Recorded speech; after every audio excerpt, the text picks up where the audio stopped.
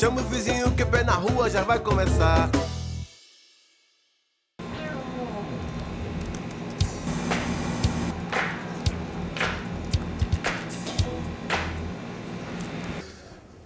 O acesso à internet no Brasil é lento, caro e não chega em todo canto.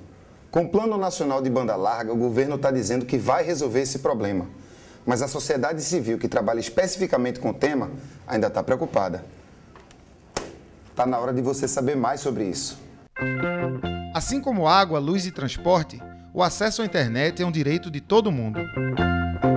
Hoje a gente utiliza a internet para é, o imposto de renda, para fazer declaração de imposto de renda, para ter acesso a conteúdos educativos, muitas vezes cursos à distância. Não é uma questão de lazer, né? A internet é cada vez mais um instrumento fundamental na cidadania. A internet é importante porque efetivamente a internet é um, hoje um meio de comunicação né, que está se tornando, já se tornou absolutamente essencial para a vida das pessoas. Né? Acesso à informação, acesso a conhecimento, pesquisa para estudo, né? comunicação entre as pessoas, mensagens. Né? É, é, é, o meio de comunicação que vai ter no século XXI o papel um papel muito maior do que tiveram telefone e televisão no século XX, até porque a internet junta as duas e dá muito mais coisa. É um instrumento em que as pessoas conseguem ter acesso a serviços cada vez mais essenciais, a conteúdos essenciais e é um instrumento de democracia. Né? A gente tem exemplos de consultas públicas que foram feitas é, pela, pela rede, acesso, o acesso à informação se torna, se potencializa por meio da rede e a sua possibilidade de ser um sujeito na comunicação também, que, que em, em outros instrumentos, como na televisão, no rádio, na mídia impressa, você pode fazer um jornalzinho de bairro, mas ele não será a Folha de São Paulo. Mas você pode ter um blog que cada vez mais é, seja seguido e que tenha comentários e que tenha você consegue formar opinião pela internet uma, de uma maneira mais fácil do que com os outros meios. É importante que o acesso à banda larga não seja visto como uma questão de mercado, né? mas sim como o acesso a um serviço essencial, que será cada vez mais essencial. Mas aqui está difícil, viu? Apenas 25% dos domicílios no Brasil têm acesso à banda larga. A velocidade média de conexão no país é de 105 kB por segundo, mais de 20 vezes menor do que a Coreia do Sul, por exemplo. O Plano Nacional de Banda Larga promete resolver esse problema.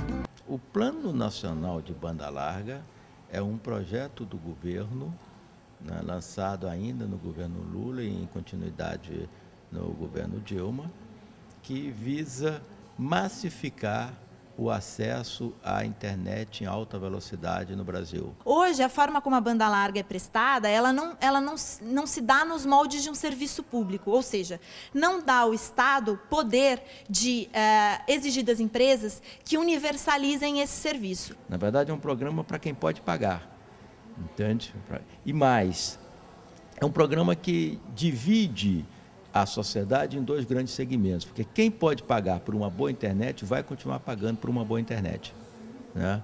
Quem não pode pagar por uma boa internet vai ter pelo menos esses 1 mega a 35 reais que te limitem muitas coisas. Saíram planos de banda larga de 1 mega, 1 megabit por segundo a velocidade por 35 reais, mas com limites de franquia de download nos primeiros anos de muito baixos, que com alguns vídeos no YouTube que você visse ou é, músicas que você baixasse, é, já, já se atingiria essa franquia e a velocidade seria reduzida, em alguns casos, para 128 kbps, que é uma velocidade muito reduzida para algumas aplicações da internet. Um serviço que é prestado nos moldes de um serviço público, ele tem uma infraestrutura essencial, já que é um serviço essencial, que quando uma empresa deixa deixa de prestar o serviço, passa ao Estado, porque é responsabilidade do Estado garantir a prestação daquele serviço.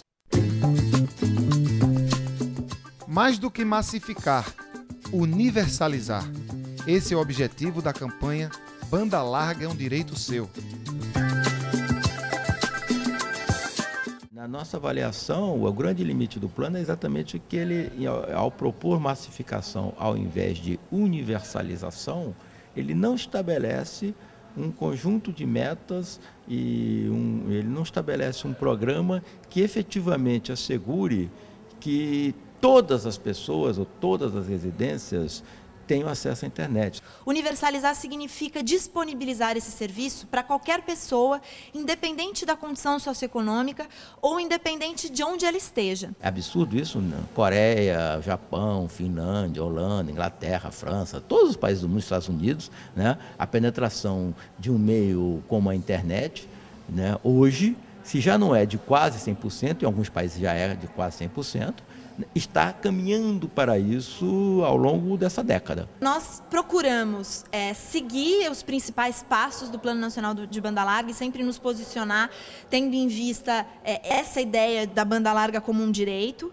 e fazemos sempre uma pressão com relação à, à, prestação da banda larga no regime público, que deveria ser uma posição do governo, que teria capacidade por um decreto do Poder Executivo em alterar esse regime ou criar um outro serviço prestado em, em regime público, e também a necessidade da participação social é, na condução desse plano. A gente busca fazer pressão por redes sociais, por atos, é, por é, envio de mensagens ao Conselho Diretor da Anatel, Agência Nacional de Telecomunicações e do Ministério das Comunicações, mas nós consideramos absolutamente relevante que exista um espaço institucionalizado de diálogo entre é, a sociedade civil e o governo federal na, na condução desse plano. A gente não está falando de perfumaria. Né, quando a gente fala de acesso, de acesso universal à internet. A gente está falando de um instrumento por meio do qual é, daqui a alguns anos, será a porta de entrada para muitos serviços, para educação, para cultura, para coisas que hoje a gente tem em outras plataformas e outros meios, mas que tendem a convergir e terem na internet a sua residência.